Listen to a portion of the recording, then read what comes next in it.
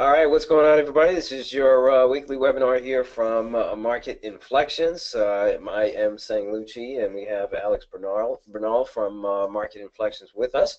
Um, and so far, so good here. Today, obviously, was a pretty uh, big day in the markets. Obviously, you guys, uh, you guys have been watching. Um, honestly, I didn't think the French elections were that big of a deal. I, I really, I really didn't think so at all. Uh, but we had a pretty nice gap up. There was a lot of call buying for SPY, for IWM, um, and we threw out that free trade for you guys uh, last week. In last week's webinar, we threw out that free trade for you. I'm going to go ahead and set this one up for you. Actually, well, I'll, I'll let uh, uh, I'll let Alex here uh, uh, set you guys up. ES had a big compression. Uh, SPY had a big compression here as well. Um, and it looks like, or are we still a little bit too early on this one? We threw out a straddle for you guys. We said, okay, by the June 235, both sides. Uh, and we kind of have we kind of had moves in both directions more or less. But uh, Alex, is it safe to say here that we're going to extend here the upside, or we still need to see something? I mean, if it were me, I'd, I'd be long right here. We have these uh, little dots that are kind of guides for us. What what those are is really a, a statistically provable support resistance level. So if you want to be more mechanical, you know, you could you could basically say it has to close above that right. level there, but you know, game of inches, whatever. Right. Um, if you if you do at sign TF uh, on the daily, this was really kind of more the um, the interesting tell because last week you had uh, Johnson Johnson, some of the bigger uh, Dow stocks, Goldman Sachs, they sagged sagged down, and it was sort of giving us this, you know, kind of bearish inkling that these compressions were going to go down, right? I mean, we had a couple people giving me shit. Oh, you first you said down, now it's going up. I mean, again, it's a non-directional indicator, so it doesn't produce a direction for us. It just says we're going to stop going sideways, right? Right. So, so um, you know, the TF today, you can see closed above that yep. support and resistance level. So, my stamp of approval to go long as of the yep. close is really right. is what it is. Right, and uh, most of my trades, most of my open trades, and we'll go over some of these. Uh, we'll go over some of these right now. Um, it looks like we lost some some data though, unfortunately here. Uh, I don't know. TradeStation sometimes uh, uh, gives us a couple errors. It just it just needs to uh, recenter there, but yeah, if you just if you just like open up those graphs. Uh, so uh, one position here that we still have going is the Microsoft, uh, and as you can see, there's still uh, a decent amount of uh, work to be done. I would say still. Um, I do have to throw out a monster October risk reversal that was thrown out there today. Uh, so this guy sold basically like I want to say like 1.7 million dollars of 62 and a half puts for October and then he bought he bought I think he bought like 9,000 of 67 and a half calls on the upside here for October. Actually, he bought 75 calls. He bought the $75 strike. Okay, wow. that's what that's what that's what he ended up buying here on the Microsoft. So Microsoft here just broke out. We actually advise subscribers here to go ahead and pull out you know, some of the gains here. We had a uh, what was it? Uh, let me let me go ahead and pull this up here. We had the May uh, 65 call uh, for Microsoft here, and we were in we were in at about a dollar seventy or so, I want to say, and I'll go ahead and pull up this call for you right now. Um, and today had a really really nice exit on this one uh, at around three bucks and change. Uh, so if you take a look at this uh, this option right here, we look at it for we've been in it for a while. This one took a this one took a little bit, uh, you know, to make happen. So we were we were in it through all of this nonsense. You know what I mean? So sometimes again, these compressions they take a while here, uh, you know, but you have to make sure you're in these before they happen, guys. And that, and that's one of the big things that we'll always throw out there is that if you get in after the fact, chances are you're going to buy a gap up right? Where there's not that much leg, uh, you know, left, uh, you know, left on the table per se. And there's still obviously going to be some upside, but you want to be able to come in after a move has already started. You have to be able to come in for the dips, and the dips are going to happen really quickly. You know, so if you're not available here to, you know, to pounce on a dip that maybe takes place in about five or ten minutes here, you're not going to get the most ideal cost here. So you want to be sure you're in these things before they happen, uh, and that's one of the one of the one of the big advantages here to using these signals. Um, and again, we do all this science for you here in Turning Point Signals, and we'll talk about that uh, in a little bit. So we have the Microsoft trade going on. Uh, I do want to throw out the, I think uh, uh Bernal here is going to talk about this IBM. Uh, I have, what is this, the Visa? This is the Visa. So I have a, I have a Visa uh, spread going on here as well. Visa already reported earnings. This thing actually printed like 94 in the pre-market off earnings and that just kind of faded back. MasterCard is still looking good. I'm still looking for more upside here on the Visa. It is kind of trading a little weird here, but I'm so I'm still holding both sides. Uh, Alex, let's say you have a strangle here on a compression here. Uh, when would you, I guess, and we talked about this last week, but when would you recommend, would you recommend letting go of that put side uh, on a move like this, on, on a move like Visa here? I think it depends on where the calls are trading. My my personal rule of thumb is I at least want to try to get ballpark double what I paid for it, right? I mean that's kind of a rule of thumb with straddles. So depending upon what the options are trading, um, you know, I might I might look and and I I personally when I take profits in straddles, I'll just take them on both sides. Um, because because again the the way that I look at this is it's a it's a non-directional trade. So if it makes a move that gives me enough profit, I just want to take my money and run from both sides. You know what I mean? Nice, nice, absolutely here. So we're still in the Visa here, both sides. I'm still kind of waiting around, seeing uh, seeing what it looks like. We also have a straddle on this IBB, um, and I'm going to go ahead and let Alex talk about this IBB because again, he's stacked up in most of the pharmaceuticals right now. Uh, so Alex, take this one, uh, take this one away here. Uh, and Biogen, yeah, by the no, way, looks I, to see. Yeah, IBB is like a kind of a perfect. They all look the same. Yeah, they all look the same. You know, again, stripping out the top five in here, uh, even the top six in the pharmaceuticals. This has really been my area of focus. Again, a longer term signal, right? So these weeklies, they take quite a bit to build, and they're going to take a little bit to unfold here. So there's there's kind of a lot of hurry up and wait. But this is the kind of thing that can run for you know up to a year in one direction, and I can kind of buy the dips and whatnot. Um, you know, the other things that support kind of my bullish uh, bias is a lot of the big biocaps like uh, Celgene and Bio uh, uh, Biogen. They're they're kind of like extreme growth stocks. So you know they have a lot of expectations for earnings and they're you know had a coming off of a tough year last year. A lot of these stocks are kind of the darlings of a lot of these uh, big hedge funds, so they're looking for these things to start moving again, start getting back in them.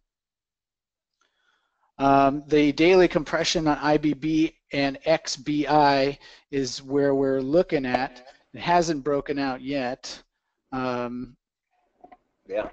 And yeah. as you guys know, if anybody's traded biotech, these things can really move. I mean, yeah. this thing will go 100 bucks in three months. You know. Yeah, they're very they're very illiquid guys. Uh, that's the one thing I will say about all the bio names, especially the the ones over 100 dollars, the ones over 200 bucks. You know, you got the REGN, you got Biogen.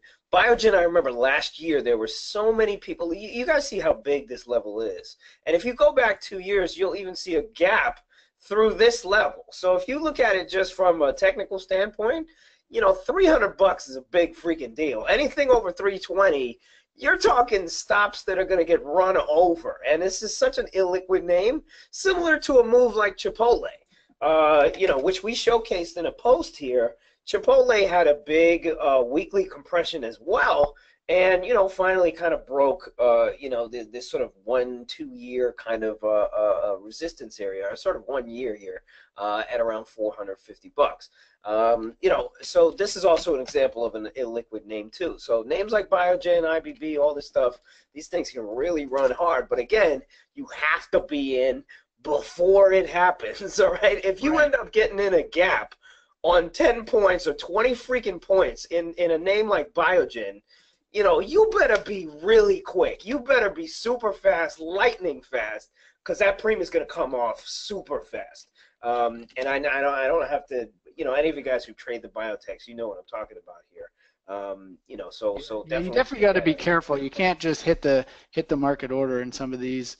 Yeah. Um, you know, uh, Celgene is a good example of just a type of setup that I favor. We've already seen how good weekly compressions are at or near all-time highs.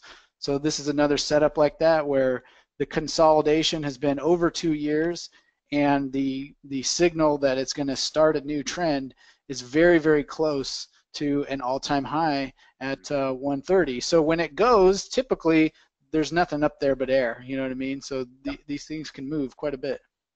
Absolutely, absolutely. Uh, another one we want to set up here, uh, you know, something that sort of hasn't happened uh, uh quite yet either, uh, but something that has been really, really uh, interesting. Signals have really shown some good moves off of, you know, off of some of these extensions here, compressions, is oil. And um, you know, this thing, this thing has moved so ridiculously in the past couple weeks uh, and very quickly too. As you can see here, this top panned out. We had a huge sell-off here, and now we're getting these bottom extensions. Uh, same thing down here. We were able to get a nice trade off uh, USO from 1020 to about 1060. Uh, and then I missed sort of all this upside here. Uh, but these signals have been spot on, uh, you know, for, for day trading uh, uh, the USO or just holding, let's say, a week position or maybe two weeks position. Uh, so we're always watching here oil. I think if oil starts to come back too, that's that's definitely going to be good for the market as well. There's one that I want to throw out here too. Uh, for uh, let's see, for uh, Bernal, the setup is the Wells Fargo. Uh, the Wells Fargo, as you guys uh, uh, may have heard, or or last week you you read in the news, you know Buffett uh, disappeared out of the stock. Did he sell his whole position, Alex? He, sold a big piece. He needed to do something else with it, but he's right. trying to kind of wash his hands of the scandal. Right. Um, but the reason he bought it is really the one the reason why I'm watching this. I mean, uh, if anybody is kind of bearish interest rates, you know, one of the most effective ways to play that is to basically be long the banks. So one fun fact is for every percentage point that interest rates go up, Wells Fargo makes 144 billion more dollars just on interest deposits alone. So it's just one of those things that in a longer term type of trade that I'm looking at to be short interest rates, I'm looking for reasons, technical edge to get long names like Wells Fargo. So right, right, and as you can see, the bottom worked out really, really well. Um, the sell put trade on the Wells Fargo uh, worked out very, very well. Uh, I will say as as well. On top of this, the flow in Bank of America uh, has been absolutely absurd. Bank of America actually was up. I want to say like six percent. Yeah. Six percent or eight. I don't know what the hell it was. I think it was six percent at one point on the Bank of America. Um, and again, the flow just kept lining up. Uh, and we saw, again, those risk reversals being played for October. So a lot of people out there selling puts uh, on the banks here looking for another move back up to those highs, 25 bucks for Bank of America. I even saw lottos being bought in Goldman Sachs for 250 bucks, 260 bucks today. You know, these guys are going right back to where all this shit started in the first place. Um, you know, so I think the free trade here that Alex and I want to throw out, considering all the flow that we've seen, considering how strong the indexes are, considering how strong uh, TF is, um, is to sell some freaking puts out here. Sell some puts on, uh, you know, some of these banks out here, and uh, I'm going to let Alex uh, set up a little bit of this trade for you. Yeah, either Wells Fargo or Bank of America.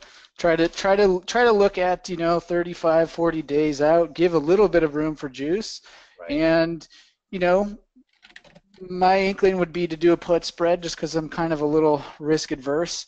I would look at getting maybe 30 cents for maybe maybe even 25 cents depending on how aggressive I feel yep. I want to sell in here.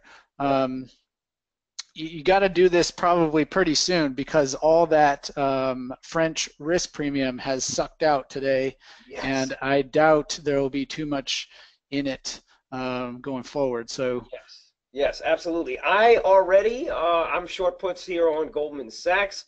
Uh, Goldman had a little bit uh, a worse reaction, I would say, to the earnings than Bank of America did and J.P. Morgan did. I'm seeing a lot of buying, by the way, for J.P. Morgan. Um, you know, so this is another great name too. You'll get some fat premium on JP Morgan too. You can go out a couple months and still get premium for out of the money puts, let's say 83, 82, and you can just, you know, make a nice 20, 30 cents very easily, very low risk, you know, not a lot of, uh, you know, kind of hectic trading here. Um, you know, so look for look for a dip here, sell some puts on the financials. Uh, that would be our free trade here uh, uh, for the day. Last trade here that we want to set up uh, is this IBM. This IBM has gotten smoked uh, recently here, and Alex is throwing out here a 720 minute signal. Uh, can we give them a little color on the 720 minute? How long does that usually last here? Can we give them a little right, color? so so uh, what we do is we actually try to divide the day, the time series that we're looking at in terms of a full day. So not not to be not too many people understand 720 minutes is actually technically one half of a day. Right. So what's nice about these algorithms, the signals, is they'll actually do a double and even quadruple search on the bars. So um, you don't know if it's found a signal on a two bar bunch up or on a four bar bunch up. It already does that automatically. So this is technically a daily slash half daily signal. So it's it's pretty nice uh, type of signal for us to look at a potential put spread trade. Right. Um, another thing too is when you get these huge power gap downs, there's a lot of volatility that spikes uh, implied volatility. So when you set up a put spread trade, you can actually set it up a little bit further away from at the money, give yourself even more cushion, and you know what I mean. It just it just has a, a nice setup. Now, before I was using this technology, it was really difficult for me to like pull up a blank blank chart and say, "Oh my gosh, the this stock is falling out of bed here. I'm going to go step in front of a, a, a razor blade or whatever, t- catch a falling knife." right. With, with with these signals, I have much more confidence that you know this is a high probability reversal area. Right. And it doesn't even need to go back up for us to, you know, Right. see the profit. It actually can just stabilize. I've actually seen a lot of these put spread trades. The stock actually keeps going down maybe another dollar, but the implied volatility sucks out so hard that you can just cover your your put spread or your puts uh, at a gain, you know, without even being directionally right. So that's kind of my my um, Right. my little strategy there with those bottom extensions. Now, Now, when there's not a lot of volatility, it's hard to find these things, especially in the large cap names. Um, so it's kind of a juicy one here. Now, uh, as far as the spreads go, when you get a signal like this, and by the way, this is all expertise that we bring to the table uh, in Turning Point Signal. So when you go ahead and subscribe to the product here, this is all stuff that is going to be done in the back end for you. And what you're going to get is access to our private Twitter feed, uh, and that way you can go ahead and get our signals here, whatever we're pushing out, whatever we're talking about. Um, and again, we'll curate the right strategy for you. Uh, trades will be kept right here. Go to marketinflections.com, uh, updated every week here. Uh, and again, you can see all this. Uh, you can see all the trades here that we're making. Um, and I believe we just done. We're just done with that promo here from last week. We're gonna try. Uh, I think you're gonna get another promo soon here. Uh, but again, go to marketinflections.com if you want to check it out. Um, and then as far as the spread goes for IBM, you know, how far? How far would you go out, let's say? You said, you know, let's say you got a name like IBM where you go a month out here, maybe sell this 155 and go five points out and make it a make it a 155 by 150. How would you usually do that?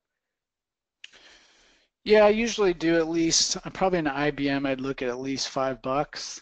Um, maybe even ten. I don't know. It depends on. I haven't looked at it. Right, But you know, re- re- really, I'm just I'm looking for uh, what I would do. I, I don't have this same setup here, but I would look for the strike that's essentially the furthest away from at the money uh, with the most implied volatility. So there's a couple tools that I basically use to look at that, but essentially you want to look at the richness of maybe a few different strikes in comparison to each other. See if there's you know one that's better off than the other one. Right, Um, right. Again, Or the sweet spot things- is 40 days, right? 35 days. Yeah, yeah. For some of these signals, for me, depending on how much I like the name, depending on how much I like the market action too, you know, that'll also dictate how aggressive I want to get. Like, for example, with Goldman Sachs, I'm pretty close to the money with this because, you know, I like the dip buy in the in the in the banks. So I'll go as far as 220 on this thing, you know, just because I like it that much and it's worth the risk for me. Yeah, just scoot it up a bit. That's good. Yeah. Okay. Okay. And it's a good kind of play. Uh, the uh, last one I'll show just a kind of an idea. I don't really didn't look at a trade for this, but um, I kind of like compression setups when there's a catalyst. And if you pull up Fox, F-O-X-A, this is kind of the thing that I I've seen some really good moves where there's some type of scandal and the stock price hasn't really moved yet. Obviously, the Bill O'Reilly falling out of bed with uh, with Fox is going to change a lot of the potential revenue streams uh, given his departure. So there's a pretty fresh looking daily signal on this that even though the market's going up, if you're looking for an idea to balance out the portfolio, you know, it's not a bad idea to keep this one handy as a potential short idea. So I know with options, if you get too biased or too one-sided on it, you might as well just be trading the underlying. So this is kind of a a setup here that I'm looking at. Nice, nice. All right, guys. Uh, any names here that you guys want us to uh, to go ahead and look at for you? Uh, again, go to marketinflections.com here uh, and subscribe uh, to get uh, you know some some pretty sweet trades. We send two to three trades uh, every single week. And they're both equity, they're both options as well. We'll also throw some writing strategies in there for you too, uh, which is very big. I mean, uh, in case, uh, you know, again, some of you guys are uh, writers out there. Usama is saying uh, the Priceline. He wants to take a look at the Priceline. We all, uh, you know, we had, we talked about the Priceline last week. And Bernal here was the one who caught it. There was a uh, compression here on Priceline, and this was pre-earnings. And for me, I freaking hate doing things before earnings. But, you know, in reality, everything is a catalyst for something, right? I mean, all of a sudden this market bounces back and Priceline, what, is basically hits a new all-time high. So yeah, we were gonna throw. I was actually gonna throw out a straddle on uh, the Priceline or a strangle here uh, on the Priceline. I usually just dislike doing things like that before earnings, unless I'm in way before the options get priced out, similar to the Microsoft. I've been in Microsoft for a month now, and finally, my you know my option premium is paying me well. Priceline here, if I was just to throw it out there, I mean, she's got earnings this week. I think it's either this week or next week. It might be next week. Uh, you know, don't quote me on that one. But Bernal, what do you think of the Priceline here? man? Yeah, you, you got this on my radar by showing me the Expedia. Oh. I, I, I, kind of um, I kind of ignore some of the growth names sometimes, but I was watching a couple of these, um, and I thought that was an interesting setup. Again, you know, the, the context of where the signals show up is actually kind of just as important as the signals themselves. So, you know, it's one of those things where you get this kind of whatever you want to call it island gap up, and then it recompresses you know, it's it's it's already got a lot of energy stored in it from get power gap earnings, you know, or whatever happened in March. Yeah. That um, you know is going to have a nice big move there. Yeah, uh, the, uh, you know the analysts are still very bullish on this one. There's still $1,900 price target. I think there's $2,000 price targets out on this thing too. Osama, I would say if you don't have a position right now, I would recommend that you you wait for earnings. If she doesn't report this week, sell some puts on this thing. You know what I mean? Sell sell like a 1760 on this thing for this week. Sell like a 1770 on this thing, uh, you know, for this week, and try to uh, you know try to just collect some premium here. And then after the earnings report, granted, you might miss 100 points, but at least you're not going to get screwed by uh, you know by by missing or being directionally biased on one direction. Again, I have horror stories with earnings, so I don't even mess with them. Uh, you know, again, everybody is different. Everybody is different. But this week we're going to get a lot of earnings, uh, and so far they've all been panning out pretty good. Correct, Alex? I mean, so far the yeah, no, we, you know, we saw we saw them all start to happen. You know, right before this whole French election thing, and now they're coming to fruition. So this is where you know watching these things unfold and taking some profits when you get them, but letting other ones you know give you a little bit more profit, uh, letting move a little more is also you know recommended. Um, the signals they're not just one and done ponies. You know we're not technically out of the edge window and when if it just moves two bars you know this thing should move at least 30 bars into one direction right. so just keep keep that in mind Right, right, indeed. Any other names here that you guys want to throw out here? CV is saying, tell me you shorted or bought puts on ESRX. I did not. I don't even know what this name is. If it's a pharma name, I don't even. Oh, Express. I'll, I'll, tell you a story. I was actually long the ABC, which is in that same family group. Thank okay. God I wasn't long the Cardinal Health because that shit the bed 11% last week. That's what got me stopped out of the ABC, which you know, in my model is the best of breed. But this whole uh, middleman pharmaceutical distributor area has got a lot of fleas, man. When they go after, uh, when the when Trump goes after the prescription industry, these are the guys who are going to get pinched the first. So um, I was not long the Express Scripts, but I've already puked out my ABC uh, position we yeah. take losses too, guys. We take oh, losses yeah. too. All right, no doubt. You have to. That's the name of the game. So listen, there's still an open position uh, of your uh, free trade here from last week, the uh, the SPY uh, straddle. Uh, and again, you can play it with the SPX. And in reality, again, we're still saying the move is going to be far more extended than what it already is. We still need to confirm that you know this gap will hold and everything. Remember Wednesday you got the tax situation, which I don't think they're going to say much. But again, I didn't think the French election was that big of a deal anyway. So who knows here? So I would keep both sides of your SPY straddle, if SPY straddle, if you still got it. Free trades here for this week are short put spreads on some of the banks here. So you got your Goldman here, you got your Wells Fargo, JPM, uh, and you got your Bank of America here. A lot of good call flow that's coming into these names. Um, you know, XLF, a lot of a lot of buyers there on XLF. Anybody who is long these banks, I would suggest hanging on for a little bit here and seeing if the indexes have uh, uh, more legs here to the upside, which they probably should. Again, go to marketinflections.com. Uh, and you will get a nice, uh, you know, a couple trades here per week.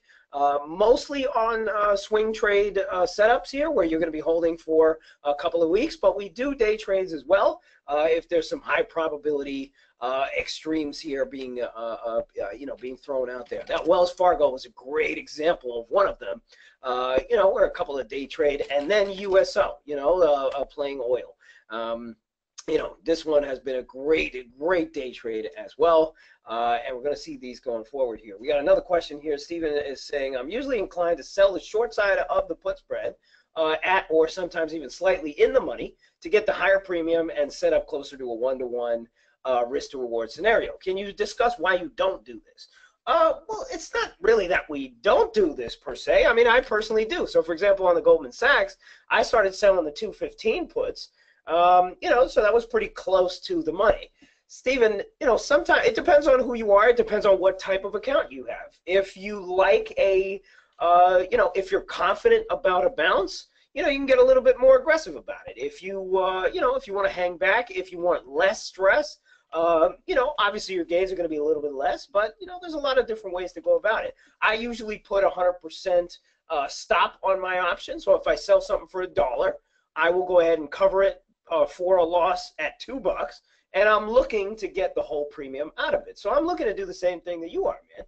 Uh, but if you have a larger account, guess what? You have the flexibility to just burn all this premium below these these uh, you know these these sort of inflection points, and it's a really good strategy. You're just you're just scraping dimes and nickels, and you can really collect a lot of paper doing that. And I I, I would advocate anybody who has a larger account um, you know, to back off the in the monies, to back off, uh, you know, a lot of that stuff, and take some of the easier money that's out there. Bernal, here, what do you uh, what do you have to say about? Yeah, you got to remember, volatility is not all the time. I mean, there's okay. there's you know years I remember where there ain't nothing to sell, so you got to get it while the iron's hot, or whatever you want to call it, and um, just yeah. know know where you have an edge, right? If you're just looking at the options, chances are or if you're just looking at price or the options alone without any you know way of understanding uh, what an edge is, it's really random gambling to me. So you got, you got to know where your edge is, and you got to know how long the edge lasts before you It make is. better And, trades. and Alex, you know, just a perfect example of that is, you know, and, and I think we talked about this last week too, guys. If you're just watching price and you're just watching an option price, you know, how many of you guys would have tried to sell the top on this freaking Tesla, and then you would have got you would have got rolled over so many times. You would have kept going after it, kept going after it. And why? You know what I mean? Where's the edge here? Where is the edge? You're trying to pick a top on a name here that has, uh, you know, is in the news all the time, that has short squeeze potential all over it. Uh, you know, there's there's not that much edge there. So again, where are you going to get that confidence? And the confidence that Alex and I are talking about is the confidence that comes from these signals here. Uh, you know, and that can give us just a much, much better place here to start looking at a at, at selling a put or selling a call with taking into uh, you know context of price, taking into context of of option prices, volatility, and all that kind of stuff. And that's what we bring to the table with turning point signals here, so that you guys don't have to do a lot of that work, and we can give you some of that edge too. Otherwise, you know, you don't want to get you you really don't want to get stuck here trying to find the top on a name like a Chipotle, uh, you know, a breakout here. Um, you know, yeah, sometimes you might hit it, but other times you'll get rolled over. And when you get rolled over on an option, if you get stubborn and you're short an option, you know, and you let's just say you have a wide spread, it can get really ugly and it can get very stressful. And more stress means more mistakes and more decision making errors here. Uh, and you know, Bernal, you want to comment on that? Yeah, you know, when you when I first started trading options, I thought I knew everything, and I, you know, thought all my trades were going to be great, and then you blow up two or three times, and you go, holy shit, I need to control what I'm doing here. I mean, there's the leverage burns both ways, and so I find myself being much more selective and patient than I used to be with trading options. I actually will you know, really look for only a couple specific types of setups that, you know, they don't happen all the time, but I know there's enough of them in any given year that it's going to do do well for me. It's just waiting for those situations to happen and Right. not forcing trades, right? Not forcing trades is kind of the key. Right, and that's a huge component here of the service, turning point signals. Again, we don't push out that many alerts. We want to push out the good ones. We want to push out the juicy ones, the ones where I can connect to other disciplines, other forms of analysis, package it up for you guys, and say, okay, you know, here's the right strategy if you guys are looking to play options, if you guys are looking to write options, if you guys are looking to play futures, if you guys are looking to just play the equity, what's the right hedge? You know, giving these things some time, some thought, uh, rather than and running out here and just gunning at the first thing that's moving. Um, you know, again, we want to bring that edge to you, uh, and that's what we're doing for you in Turning Point Signals. So again, go to marketinflections.com uh, and sign up. Sign up. Uh, price is two forty nine a month, uh, and again, you get your private Twitter feed, uh, and you get a newsletter and a lot of private content as well. Uh, all right, take care, guys. We will see you next week. Again, the free trade here is short your bank spreads, short your puts, short you short those puts on your banks. You're looking for dips. You're looking for dips. You're looking for Goldman to come down a couple points or something, and that's when you want to scoop up uh, some short puts here. JPM, Wells Fargo, same scenario. And the SPY straddle is still live. That is still a very live trade. Uh, and again, both Alex and I think the move here in the indexes is going to last quite a while we don't know 100% that uh, it's going to be up or down. Uh, you know, we're pretty confident at the moment here. The upside looks pretty good. Who knows what will happen Wednesday here for the tax situation. So make sure you keep both sides of that straddle open. All right, until you know, until let's say SPY clears 238, 239, 240, then let the other one go and uh, you know and enjoy the gains. Enjoy the gains. All right, guys, take care, and we will see you next week. See you later.